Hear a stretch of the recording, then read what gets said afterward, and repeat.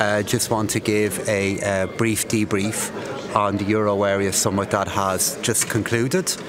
Uh, the council conclusions that have been issued uh, uh, reflect the uh, consensus that is there regarding the euro area economy uh, in the time ahead. Firstly, we acknowledged that the work that has happened with budget policy has made a really important contribution to supporting the economic growth of the euro area across last year and this year.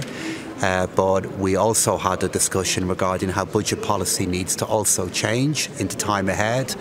And then, secondly, with regard to Capital Markets Union, there was a very positive discussion regarding how we can strengthen our capital markets within the summit.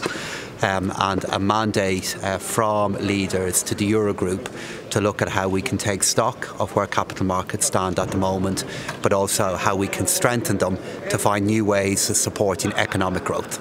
Are you concerned, or is there concern in the room today about uh, the health of Deutsche Bank, considering the move?